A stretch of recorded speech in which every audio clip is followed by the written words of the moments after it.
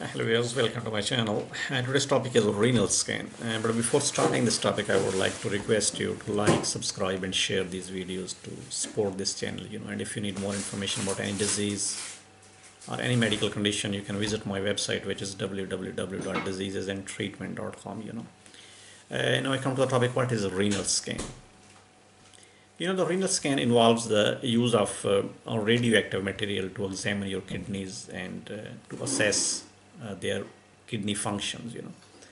And uh, it's also known as a renal, uh, like uh, uh, scintigra- scintigraphy, you know, and maybe renal imaging and uh, renogram. So these are the alternative names used for this procedure, you know, diagnostic procedure, you know.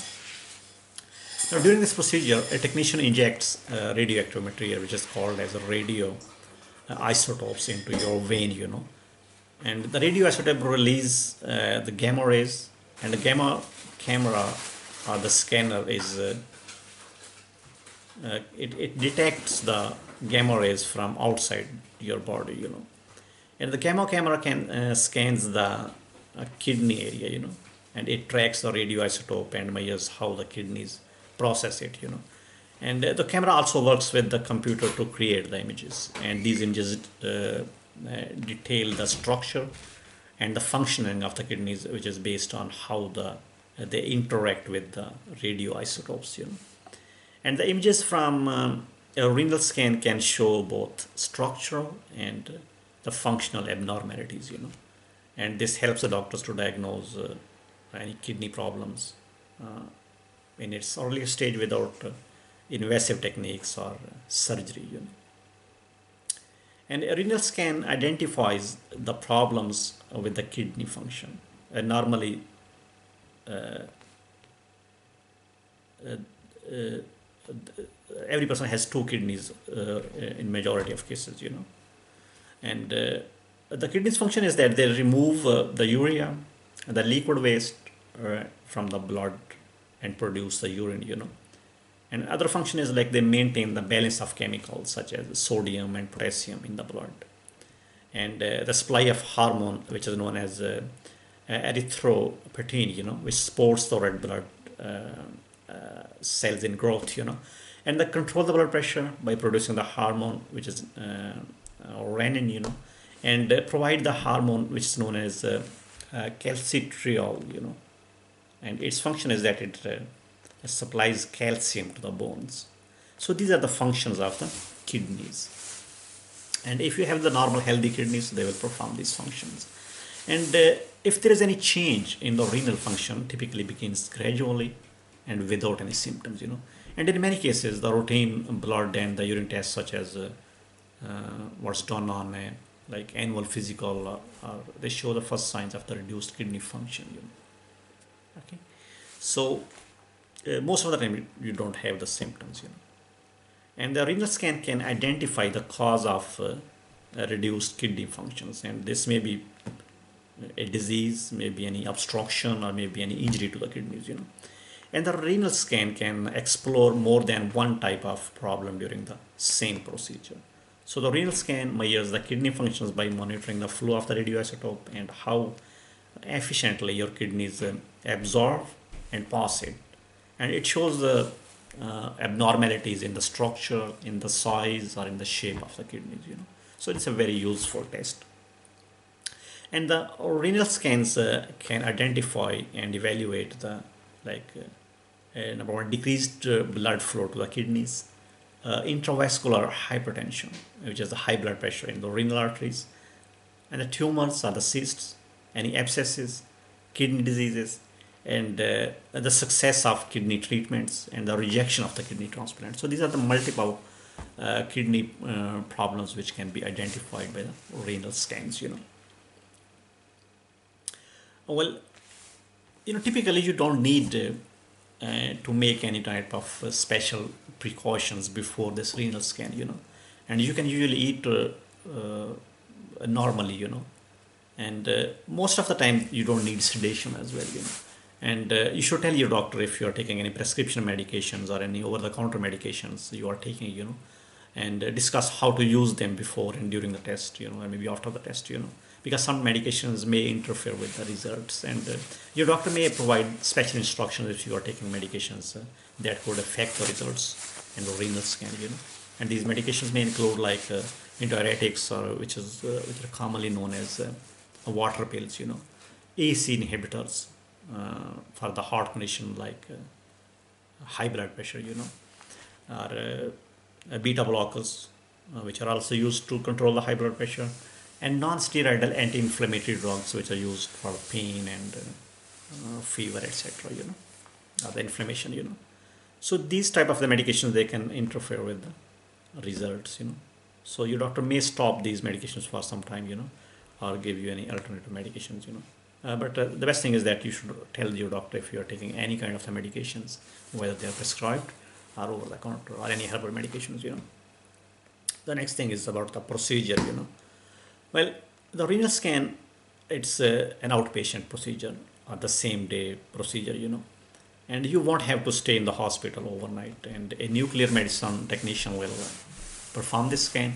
And this is usually done in either in a hospital radiology department or maybe any medical office uh, uh with the special arrangements you know with the special equipment you know.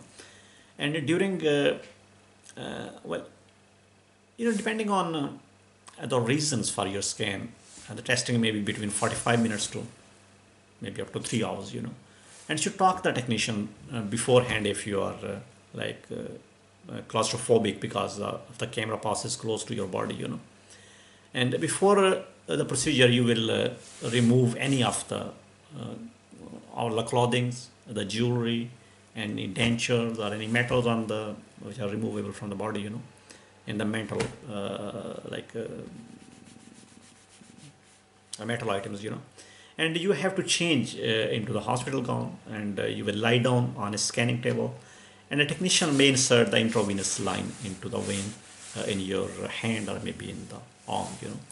And the technician will then insert the isotopic that's a radioisotope uh, into a vein in your arm you know and you may feel a quick and sharp like uh, poke with injection you know, and there may be a waiting period between the injection and the first scan to allow the kidneys to uh, process these radioisotopes, you know. And uh, the scanner will detect the gamma rays from the radioisotope and create the images uh, of the area, you know. And uh, any movements can alter or maybe blur the vision, you know, uh, sorry, that, that image, you know.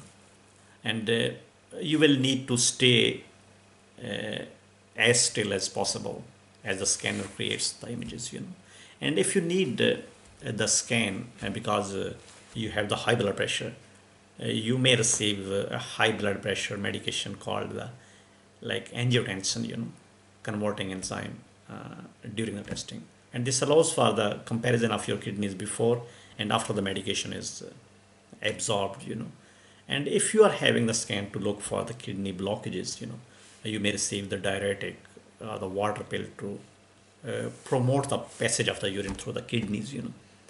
And uh, this will allow the doctor to observe the restrictions to the urine flow, you know. And if you need to have an empty bladder for the scan, uh, you may need uh, a soft tube which is called as catheter you know uh, to maintain this condition you know and the technician will remove the IV line and the catheter once the scan is finished you know. And you can uh, then change into back into your normal clothing. And uh, you can usually return to the uh, your regular diet and, uh, and daily routine after the procedure unless uh, your doctor advises you otherwise you know. And uh, the radioisotope will exit your body naturally. So the only thing you need to do is drink plenty of fluids you know and urinating okay and the nuclear medication, uh, the medicine imaging uh, is considered safe, you know. And uh, the radioisotope exposes you less radiation than the X-rays. So it's comparatively is, uh, is considered a safe procedure, you know. And uh, the small amount of the radiation exposure is primary in the kidney area and it passes from your body naturally within 24 hours.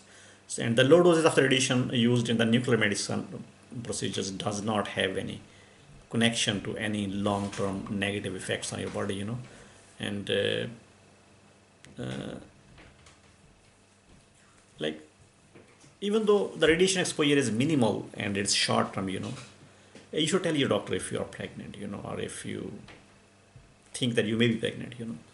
So tell your doctor in advance because it has, it can even has a negative effect on your fetus or baby in the womb, you know. And unlike the intravenous dose, radioisotopes uh, carry few risks of the uh, allergic reactions, you know. And allergic reactions to the radioisotopes are possible, but they are very rare. And a renal scan is good option if you have had any reaction to contrast type, which are used in X-rays of the urinary system, you know. And the needle stick of the IV may cause like discomfort or a little bit bruising or redness, a little bit discomfort and pain, you know. Maybe infection and swelling, you know. But the chance is very low. Uh, you should contact your doctor if uh, these symptoms persist, you know. Okay. And depending on your physical condition and whether you uh, have had a recent surgery or the injury, you know, you may feel discomfort or uh, from lying on the scanner table in still position for a long time, you know. Uh, and you may also feel dizzy or when you get up from a table, you know. And uh, it will last only for a few moments, you know, and then it will go away. The next thing is about the results, you know. Well, after the technician has uh, completed the scan, uh, the nuclear radiologist will uh, interpret the images and his findings, you know, and uh, then they will send the comprehensive report to the doctor, and uh, you will discuss the results with the doctor, you know, in the next meeting. And the abnormal results uh, can indicate the like kidney diseases, the presence of cysts or the tumors, and blockages, and uh, uh, like uh, renovascular hypertension, uh, problems with the kidney transplant, and maybe the kidney failure. You know. Uh, so once your doctor receives the report, he will call you back and uh, discuss the results, and then if there's any problem, uh, then he will discuss the treatment options with you. Thank you very much for watching this video. If you need more information about any disease, any medical condition, you can visit my website, which is www.diseasesandtreatment.com. And please do not forget to like, subscribe, and share these videos to support this channel. You know, thank you and goodbye.